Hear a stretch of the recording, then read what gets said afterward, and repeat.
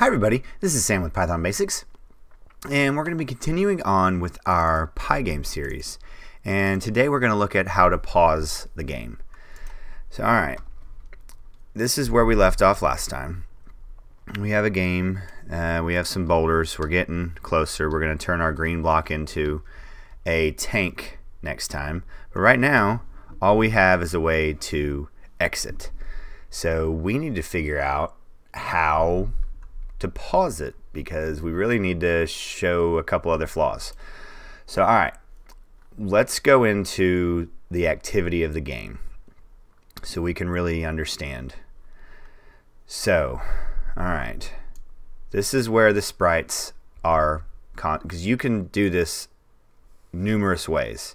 I'm going to show you the most um, structured way to control the loops that we know how. We can do it a bunch of ways, but I'm going to show you the skills that we have that we can adapt to this. So what we're going to do is we're going to use this event loop and we're going to move it to the top. But I want you to understand why we're moving it to the top.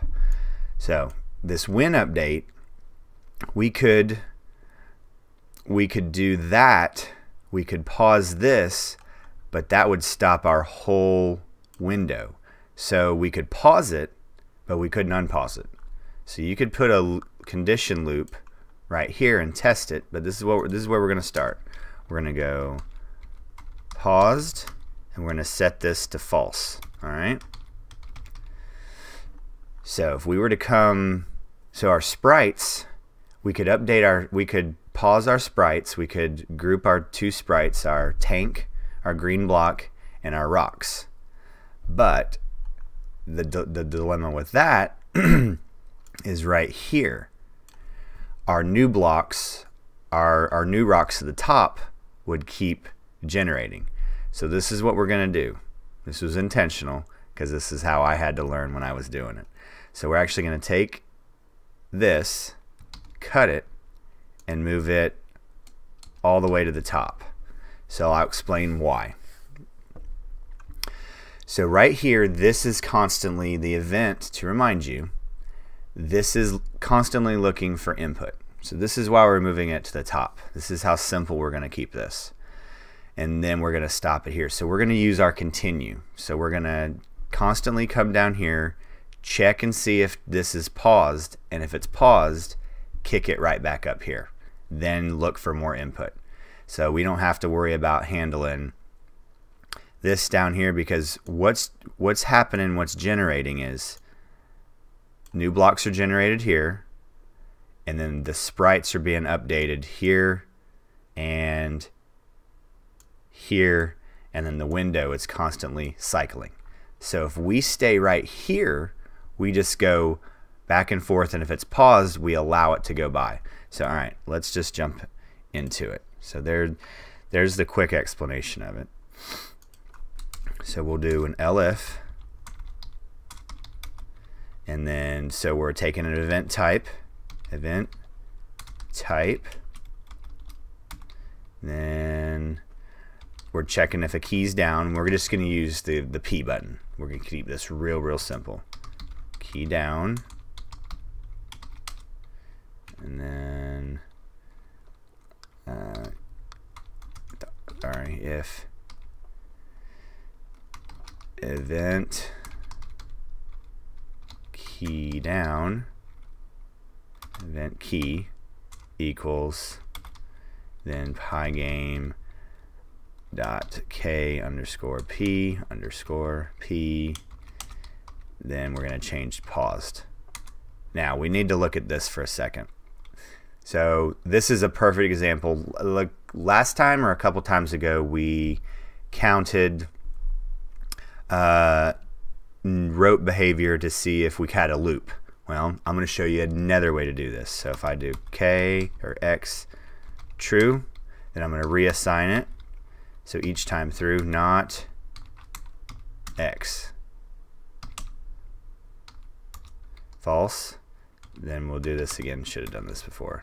Not x. x again. So right here, so we declared it at first. then equals not pause. So just like here, what you're doing is each time the P is pressed, it's kicking here and it's either going true or false. Paused, not paused, paused, not paused. All right. So now that literally handles the event. Now we need to handle our loop right here. So this is this is as simple as, as it is. If paused equals true, continue. So basically, if paused is true, come back up here.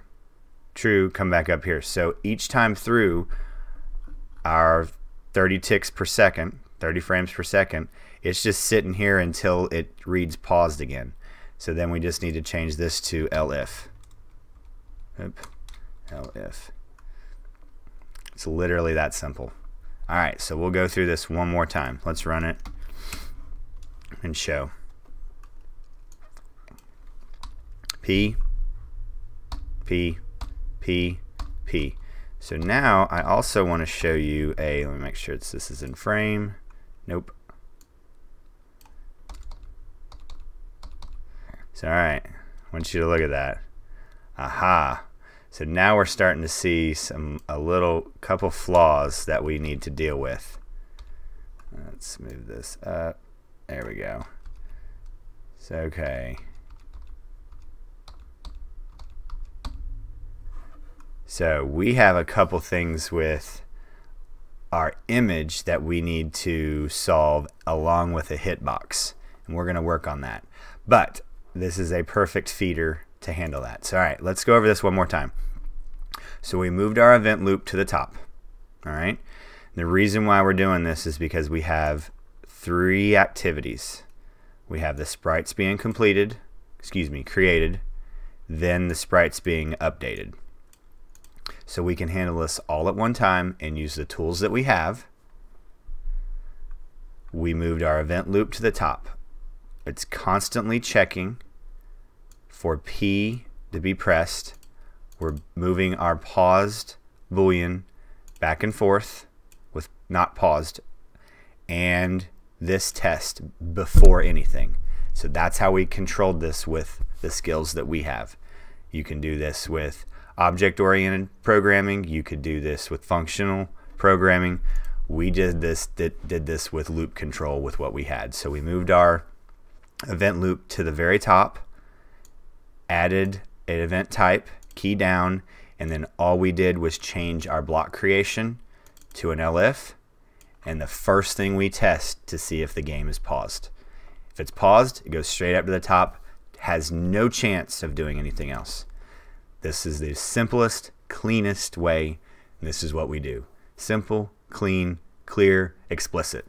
The most Pythonic ways possible. So please, please, please, if I have any gaps in here or something that you didn't quite get, because now we're getting really complicated and we're going to start messing with these images really soon. So please drop any comments, questions, or any video requests below and I'll get right to them. And as always, guys, thanks for watching. Stay tuned and we'll see you next time. Bye, guys. Hey, guys. Thanks for joining us today. I hope you really enjoyed today's video. And if you haven't, check out this video right here or this one right down here. And most important, make sure you're hitting this subscribe button and the notification bell. Thanks again for joining us, and we hope to see you next time. Bye, guys.